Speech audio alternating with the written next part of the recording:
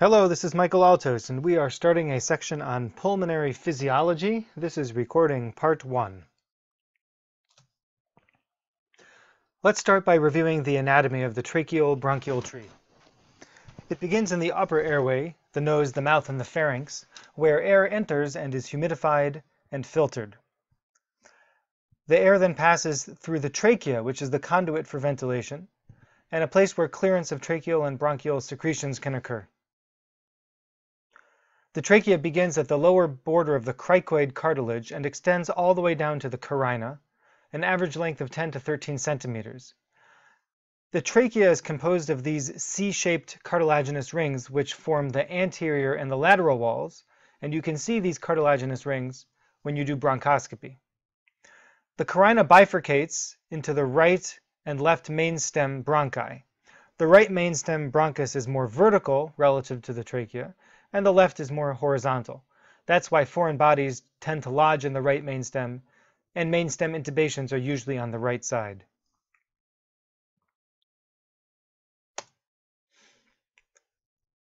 The tracheobronchial tree continues to undergo dichotomous division, starting at the carina and continuing for about 23 generations.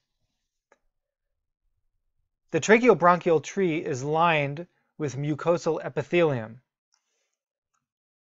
The cells start as ciliated columnar cells, then become cuboidal, and finally flat alveolar epithelium. This is significant because gas exchange can only occur across flat epithelial cells, which begin at the respiratory bronchioles somewhere around generations 17 through 19. Prior to this level, we have what we would call the conducting zone, and this all adds to dead space, as we'll discuss in a few moments. The respiratory bronchioles are also lined with smooth muscle, which can dilate in response to sympathetic stimulation and constrict in response to parasympathetic stimulation. The columnar and cuboidal epithelium have cilia, which normally beat in a synchronized fashion in order to move mucus and other bacteria and debris upwards towards the mouth. As we move down these generations, the airway walls gradually lose their cartilaginous support and their smooth muscle, so that the only thing keeping them open is the radial traction by the elastic recoil of the surrounding tissue. And as we'll see later, this can lead to collapse of the smaller airways. The alveoli are at the end of the tracheobronchial tree. Each sac contains about 17 alveoli, for a total of about 300 million alveoli in the lungs. Opened up flat, they would make a surface area of 50 to 100 square meters for gas exchange. When a patient is upright, the largest alveoli are at the pulmonary apex at the top, and the smallest tend to be at the base. We can think of the lungs as being suspended from the top of the thoracic cavity and hanging down, kind of like a slinky, so that the alveoli at the top are the most opened and they're being pulled open, whereas the alveoli at the bottom tend to be a little bit smaller. Each alveolus has a capillary network, which begins with the pulmonary arteriole that brings blood to the alveoli, branching into this network of capillaries, and then after oxygenation, the blood is returned to the heart through the, the pulmonary venules.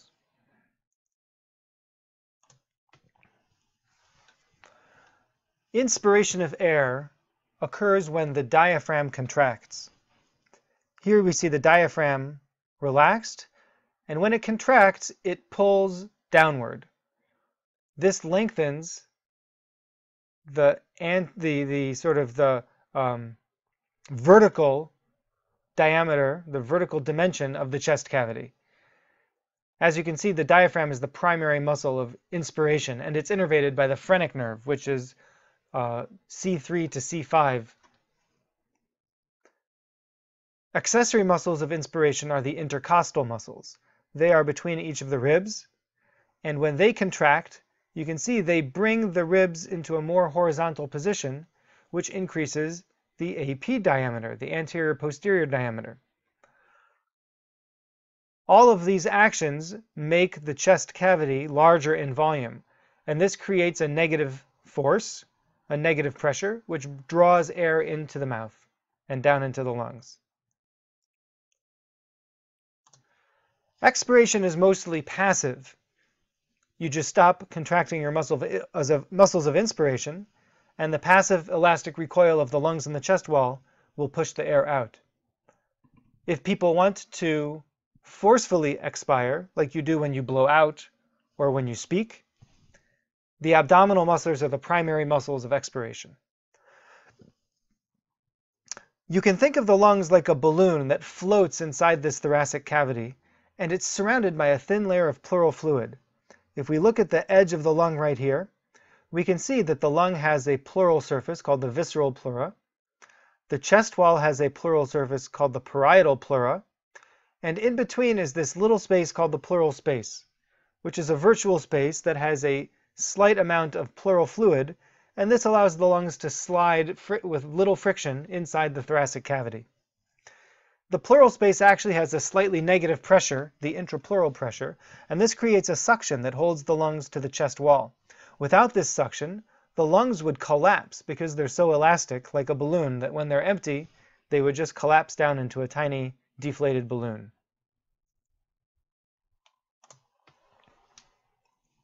Now, if a patient opens their mouth and opens their vocal cords or their glottis, and they're not breathing in or out, then the pressure in all parts of the system is equal to atmospheric pressure. And we call this a pressure of zero centimeters of water because that's relative to atmospheric pressure. The whole system is in equilibrium. In order to breathe in, you only need to generate a negative pressure in the lungs of about minus one centimeters of water. And to breathe out, you only need a positive pressure of about plus one centimeters of water. And that's how expiration and inspiration normally occur. The transpulmonary pressure describes the pressure difference between what's in the alveoli and the intrapleural space. Again, the intrapleural space, space is this slightly negative space in the pleural space between the lung and the chest wall. And the alveolar pressure is the pressure inside the lung space in the alveoli. Transpulmonary pressure is the difference between these two, and it's usually positive. This describes the fact that the lungs are elastic. The inside of the lungs are coated with a substance called surfactant. Normally, a balloon filled with uh, water that lines the surface of the inside of the balloon will have surface tension. And this surface tension will make the uh, lungs even more elastic and make them collapse very easily. Conversely, the opposite of elasticity is compliance. When there's a lot of surface tension, the lungs won't be very compliant. And so you'll need to generate a lot of pressure and do a lot of work in order to send a certain amount of volume of gas into the lungs. What surfactant does is it decreases the surface tension, it reduces it. And so it makes the lungs less elastic and thereby more compliant. And so you can get more volume of air into the lungs for the same amount of pressure, or the same amount of work.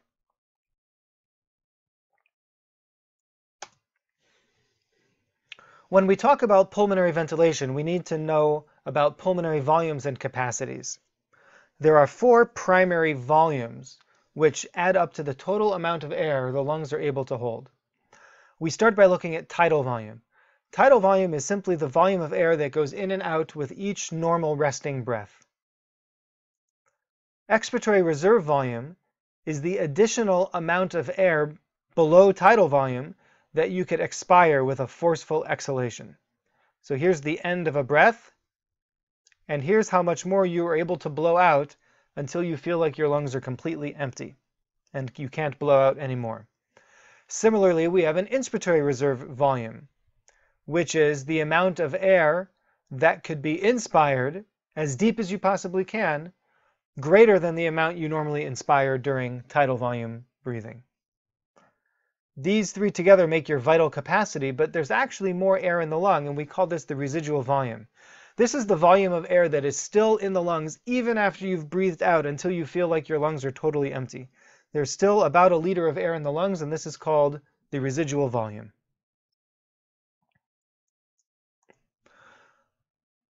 These four volumes can be combined to create four lung capacities.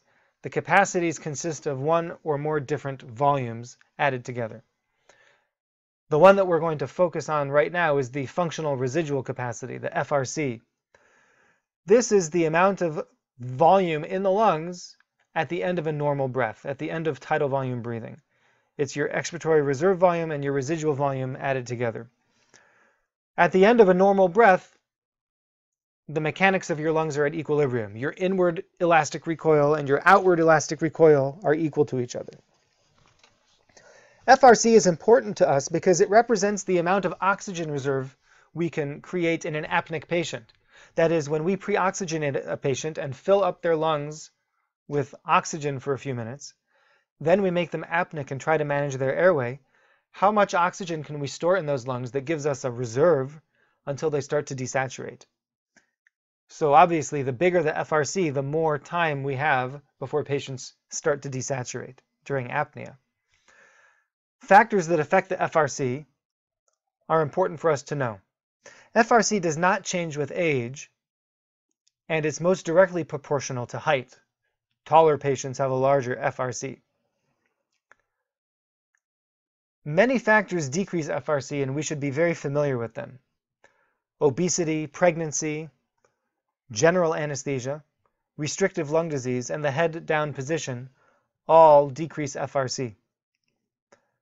Moving a patient from an upright to a horizontal position, supine or prone, also decreases FRC. This may be in part due to collapse of the alveoli, which is atelectasis.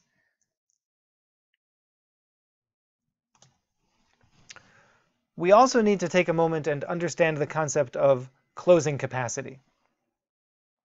The closing capacity is the minimum volume, which is really the minimum pressure, required to keep your small airways from collapsing, which is atelectasis.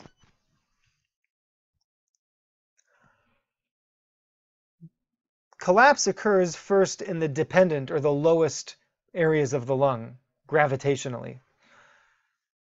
And the reason we care about this is because collapse or atelectasis has many undesirable and harmful effects, which we're going to describe later in our discussion of pulmonary physiology.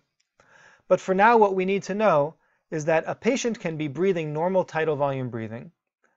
They may take a deep breath in, they may blow all the way out, and at some point you can blow out far enough that you've crossed the closing capacity,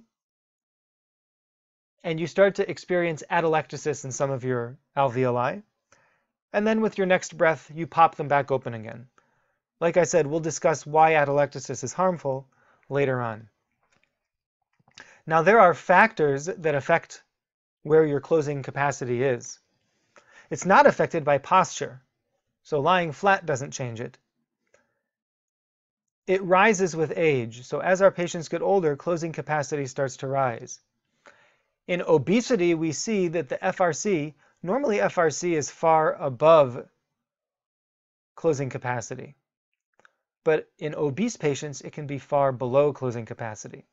So look at this patient who only experiences crossing the closing capacity. That is, this patient only experiences atelectasis if they blow out until their lungs are almost empty. But under normal breathing, they're not experiencing atelectasis. But as things change, let's say we have an obese patient or other factors that affect closing capacity, now we have a patient whose FRC, that is their lung volume at the end of a normal breath, is so low that actually every breath goes below closing capacity. And so this patient is experiencing atelectasis every time they breathe out, and the lungs are popping open again every time they breathe in. And we're going to see that this is not good for the lungs. How can we fix it? Well, one thing we can do, this is the same situation again with tidal volume breathing and the FRC going below closing capacity. If we add PEEP, positive end expiratory pressure, we can increase where the tidal volumes are. The actual tidal volume itself is still the same size, but the FRC has been increased and it's above closing capacity again. Now every time the patient breathes, their lungs stay open and they don't cross the line here that signifies closing capacity.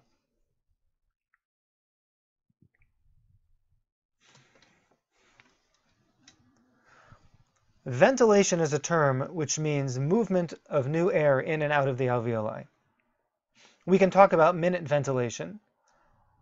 The easiest way to think of it is respiratory rate times tidal volume, which is very analogous to cardiac output that we described earlier.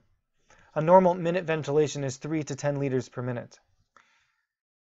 But not all of the air that goes in and out of the lungs is helpful because some of it is in the dead space.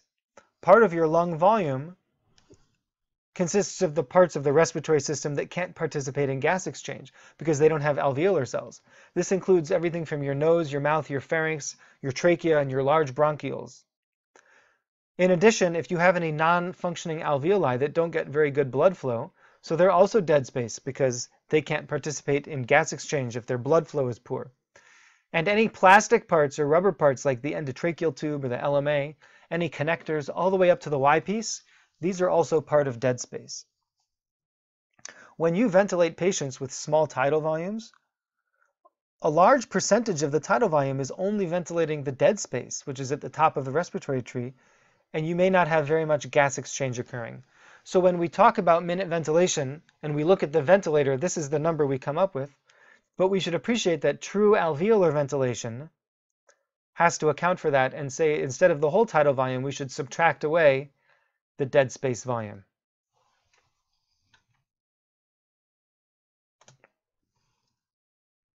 Finally, I just want to highlight the cough reflex. This is a reflex in response to any sort of touch or irritation inside the tracheobronchial tree.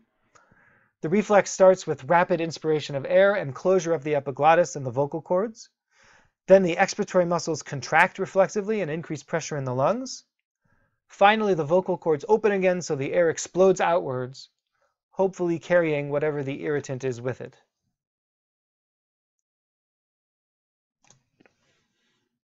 That's the end of our first recording please do take some time to go over these new concepts, especially concepts like closing capacity and ventilation. If you have any questions, please let me know so I can help you understand them. And thanks for your attention.